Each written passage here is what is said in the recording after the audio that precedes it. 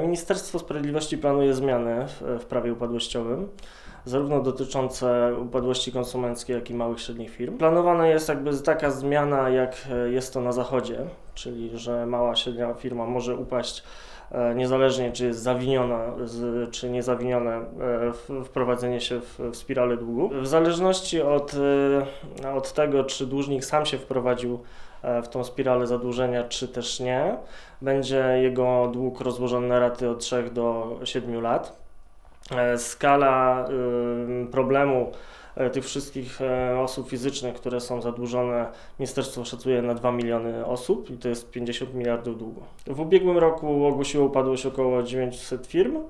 E, Natomiast upadłości konsumenckich było ponad 5 tysięcy. W tej chwili majątek e, upadłego przedsiębiorstwa jest e, wyprzedawana.